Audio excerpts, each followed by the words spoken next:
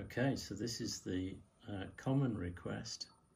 of whether using a variax and something like a helix you can fade from acoustic guitar to electric guitar.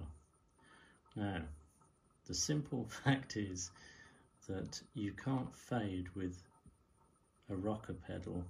between two different models because the guitar has to be doing both models at the same time and it doesn't do that. Uh, but what you can do is you can use the magnetic output and you'll see if you look closely at there's two signal chains in the one at the top's got a V with like a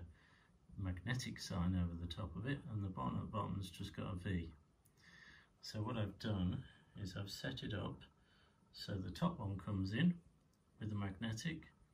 through my signal chain of distortion pedals and amps and cabs and stuff and down into the second row where a separate chain comes in from just the Variax acoustic model and that comes round and both of those feed in just before the delay and the reverb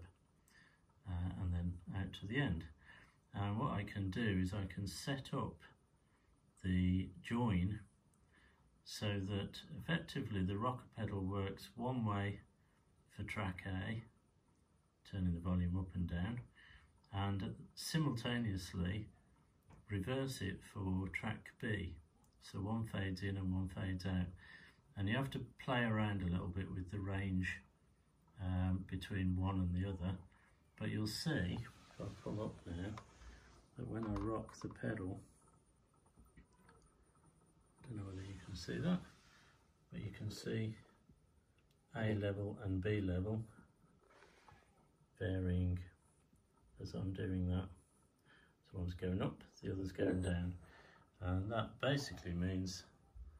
that you end up with the sound being able to um, move through, uh, which I'll demonstrate in a moment.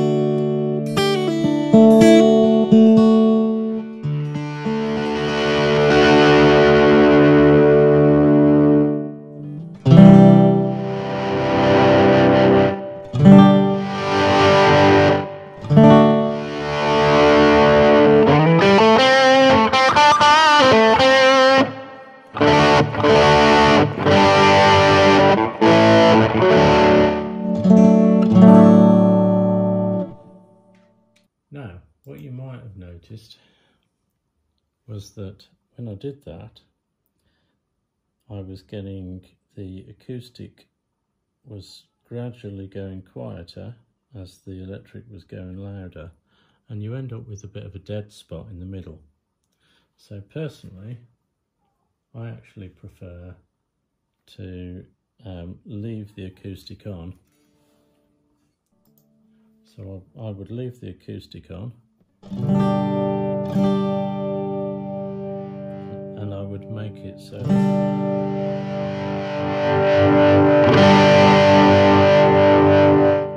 so the distortion is fading in over the top and it's just so loud you can't hear the acoustic anymore.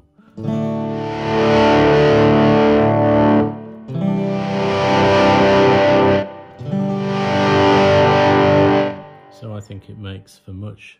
much nicer swells.